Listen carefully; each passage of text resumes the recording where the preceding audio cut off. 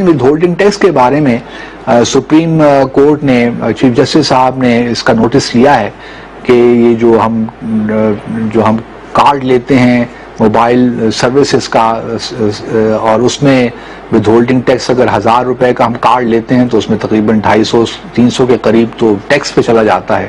تو یہ کس بنیاد پہ ہوتا ہے؟ یہ سارے بڑے معاملات بڑے اچھے ہیں۔ لیکن ایک بنیادی سوال اور بھی ہے ناظرین اور میں سمجھتا ہوں کہ اس کا بھی تھوڑا بہت ہمیں فکر کرنی چاہیے یا اس کے بارے میں غور کرنا چاہیے۔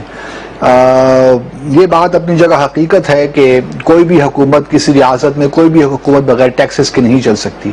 لیکن اسلام نے ہمیں ایک نظام دیا ہے زکوٰۃ کا۔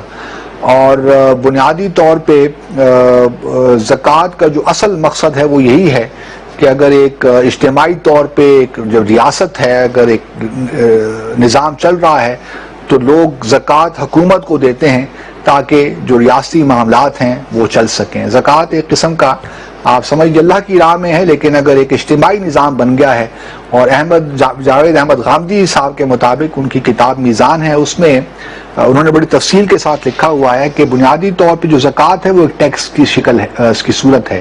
اور انہوں نے ایکسپلین کرتے یہ بھی یہاں تک بھی کہا ہے کہ اگر حکومتیں آپ سے ٹیکس لے رہی ہیں تو پھر زکوٰۃ، وہی زکوٰۃ تصور کرنی چاہیے جو آپ ٹیکس دے رہے ہیں۔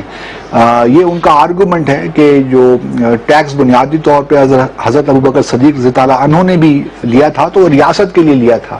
جب لوگوں نے، کچھ لوگوں نے دینے سے انکار کی تھی زکوٰۃ، تو انہوں نے زبردستاً جبرن زکوٰۃ ان سے لی تھی۔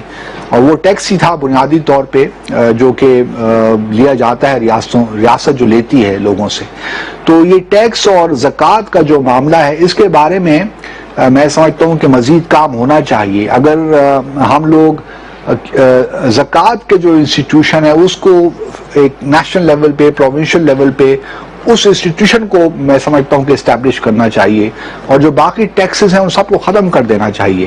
یہ ایک بڑا زبردست طریقہ ہوا، کیونکہ ہمارے لوگ زکوٰۃ تو دیتے ہیں۔ اس میں قطن کوئی کنجوسی نہیں کرتے، کوئی ہیرا پھیری نہیں کرتے۔ اور زکوٰۃ اپنے وقت پہ جو بھی سال کے بعد زکوٰۃ کا جو بھی کیلکولیشن ہے وہ کر کے زکوٰۃ لوگ دے دیتے ہیں۔ لیکن جہاں تک ٹیکس کا تعلق ہے، اس میں آپ دیکھیے کہ اس وقت بھی ہمارے ہاں تقریباً آٹھ لاکھ کے لوگ صرف ٹیکس دیتے ہیں اور اس میں بھی زیادہ تر جو لوگ ہیں وہ سول سرونٹس ہیں۔ تو اگر ہم زکوٰۃ کو انسٹیٹیوشنلائز کر لیں تو یہ ایک بڑا اچھا ذریعہ ہوگا حکومت کو اپنے آمدن بڑھانے کا۔ اور میں نہیں سمجھتا کہ ریسورسز کی کمی ہوگی۔ اور اگر اس کو واقعی انسٹیٹیوشنلائز ہو جاتا ہے کہ لوگوں کے دماغ میں پہلے یہ کلیئرٹی ڈال دیں کہ زکوٰۃ کا اصل مقصد کیا ہے اور زکوٰۃ کس کو دینی چاہیے، تو یہ اگر لوگ اس بات کو سمجھ جائیں گے کہ ایک زکوٰۃ کا سسٹم اگر ہم کر لیں گے تو اس میں غریب لوگوں پہ جو ٹیکس کی صورت میں ہم دیکھتے ہیں یہ آئے دن انڈائریکٹ ٹیکسز بھی ہیں ڈائریکٹ ٹیکسز بھی ہیں، تو غریب اس سے بچ جائے گا اور اس کو براہ راست ان چیزوں سے فائدہ ہوگا۔